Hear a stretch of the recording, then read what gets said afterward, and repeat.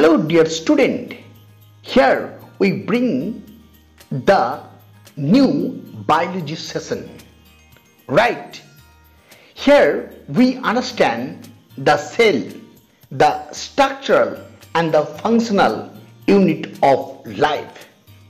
So in this chapter, student will be able to learn what is cell, discovery of cell, cell theory, prokaryotic and eukaryotic cell, cell shape, size and number, structure of a typical cell, cell organelles found in cytoplasm, difference between a plant and an animal cell, and the overview of the cell.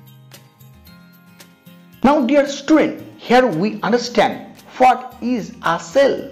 A cell is the structural and functional unit of living beings. Right?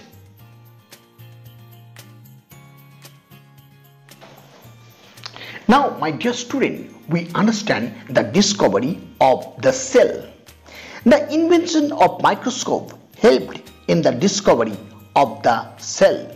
The first microscope was constructed by the Antony van Leeuwenhoek. It consists of a single convex lens and was known as the simple microscope. In this microscope, the eyepiece was located close to the lens on one side while the object was mounted on the screw point on the opposite side of the lens. Some of the Leeuwenhoek microscope could magnify object up to 200 times.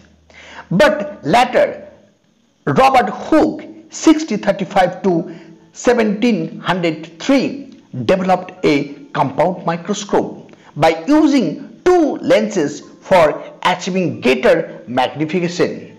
In such microscope, the object to be seen was placed on a stage below and light coming from an oil flame was thrown on it by convex mirror. Cells were discovered by the Robert Hooke in 1665. He studied a thin piece of cork under his microscope. He observed that the cork piece had large number of the compartments joined together in a honeycomb-like structure. He named this compartment as cells. Latin it is cella that means compartment. In this way the cell discover. Correct student?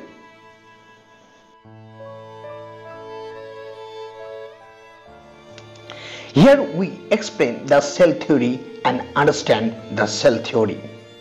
The cell theory was formulated by the two German biologists. One is the M.J. Schleiden and the other T. Schwann. In the in the in between 1838 to 1839, the theory states that number one context of modern researches, the cell theory can be stated as follows. Number one, cell is structural and functional unit of all living beings. Number two, all living organisms are composed of cell. Number three, all new cell arise as a result of division of pre-existing cell right student? Now number 4 is there. All cells are basically alike in chemical composition and metabolic processes. Number 5 is here my dear student.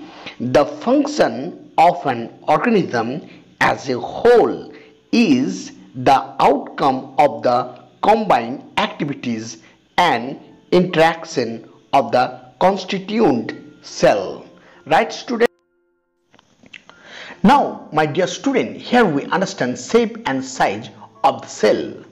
Cell show a great variation in their shape.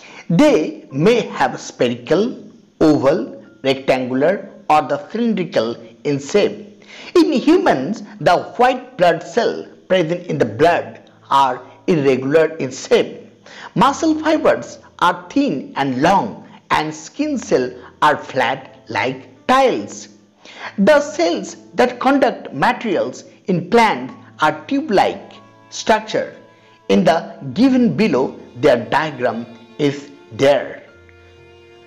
The shows the different shape of the human cell is there. Cell also vary in size. The size of a cell in measure in a unit called the micron. 1 micron is equal to 1 by thousandth of a millimeter.